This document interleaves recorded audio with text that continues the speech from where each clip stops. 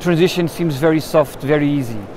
And this is not easy. And I think that's why we cannot do this alone. And we need to partner with our competitors, I think, to create a market, with our customers to understand the needs, with our governments to understand how we can build the framework. And I think the technology is disrupting the way we are doing things. And so even the customers need to adapt on how they, you know, use the electricity, use the energy.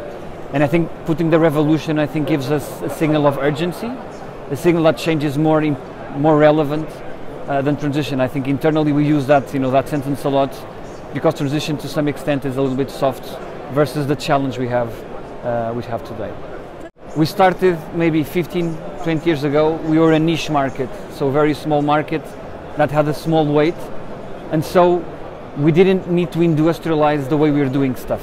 So not only in terms of the technology, you know, building more solar, building more wind, but only in terms of the processes. I think one of the biggest issues we have today is on interconnection, even the queues for interconnection, is on the permitting processes because before, you know, the environmental agencies have, you know, a very few number of new projects. Today they are swamped with new projects.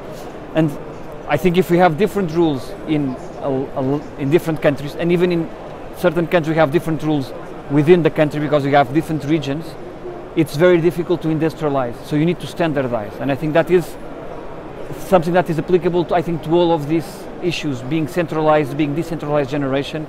A client in Europe, we are in the EU, should have the same way of putting panels in the roof. You know, a developer that is building a new wind or wind solar should have a consistent way of permitting in terms of timing, in terms of requirements, a, um, a, project in the, in the European Union.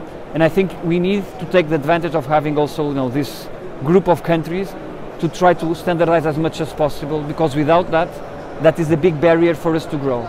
We need to take two type of barriers. I think one is uh, market-wise, and I think our market design should try to incorporate the fact that we should be one market. I think at least progress to be one market. But to do that, we also need to take the physical barriers. And I think one of the things that in, impedes us to be one market is that we don't have sufficient interconnection between all of the markets. And we are in Iberia, Portugal, and Spain. We have the Pyrenees, but which is a big barrier uh, for us to export energy to, to, to the north of Europe. We have the cheapest energy in the Iberian Peninsula with wind and very a lot of sun. We should be able to do that much more often than we're doing today. So we need to do that in two ways. Regulatory wise, we have similar rules. Physically wise, we are able to you know, leave the electrons from one point to another.